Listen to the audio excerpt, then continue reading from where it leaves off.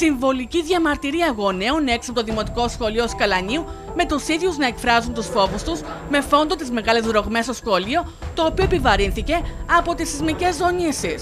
Ανησυχούμε πάρα πολύ, παιδιά, γιατί το κτίριο είναι πάρα πολύ παλιό. Είναι πετρόχτιστο για από ό,τι ξέρουμε. Στο Αρκαλοχώριο τα πετρόχτιστα πέσανε. Εδώ έχουμε 60 παιδιά. Είναι τα παιδιά μας, δεν είμαστε εμείς. Είναι τα παιδιά μας. Πρόκειται για παιδιά. Και τα ίδια τα παιδιά φοβούνται. Και εδώ σου λένε για ένα κίτρινο κτίριο. Δηλαδή, έχετε εσείς την ευθύνη. Αυτό λένε ουσιαστικά. Θέλω του, του κυρίου Αναστασάκη. Εάν πηγαίνανε τα παιδιά του σε ένα τέτοιο σχολείο, θα τα άφηνε να πηγαίνανε. Αυτό εδώ είναι, πρέπει να είναι του 30. Το κτίριο είναι χτισμένο με πέτρα και με άμμο θαλάσσιες. Δεν έχει ούτε μία κολόνα γύρω-γύρω.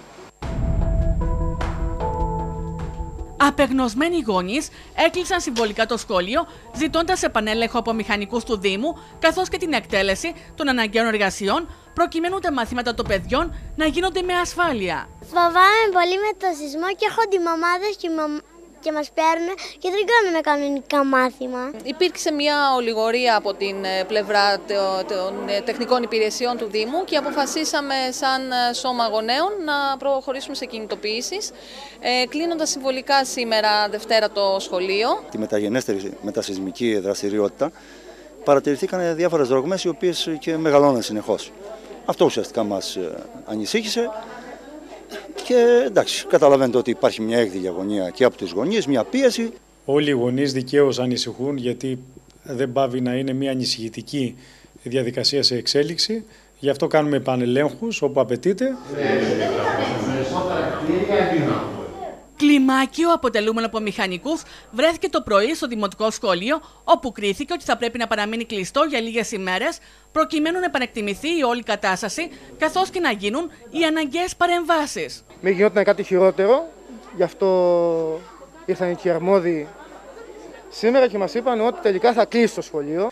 Θυμίζω ότι εκεί είχαμε αποκλείσει ένα αρισμένο τμήμα του σχολείου, αλλά η εκπαιδευτική διαδικασία στο υπόλοιπο κτίριο κρίθηκε ότι μπορεί να συνεχιστεί. Όμως έχουν παρουσιαστεί επιπλέον ζημιές, χρήζουν περισσότερης διερεύνησης και για κάποιες μέρες θα κλείσει το σχολείο, το κτίριο αυτό δηλαδή δεν θα μπορεί να συμμετάσχει με διαζώση εκπαιδευτική διαδικασία και θα αποφασίσουμε με τα κλιμάκια μας αφού αποκαλυφθούν πλήρως όλες οι ζημιές. Καταλαβαίνω θα γίνει τηλεκπαίδευση, η οποία μετά από δύο χρονιές καραντίνας ε, δεν είναι αυτό που θα θέλαμε για τα παιδιά. Αν, αν όμως κρατήσει μικρό χρονικό διάστημα, προκειμένου να είμαστε ασφαλείς, βεβαίως θα το κάνουμε. Αρκεί οι εργασίες να γίνουν σύντομα. Να μην μπλέξουμε στην γραφειοκρατία, να μελετηθεί, να αποφασιστεί, να ε, ανατεθεί και πάει αυτό το πράγμα ένα-δύο μήνες.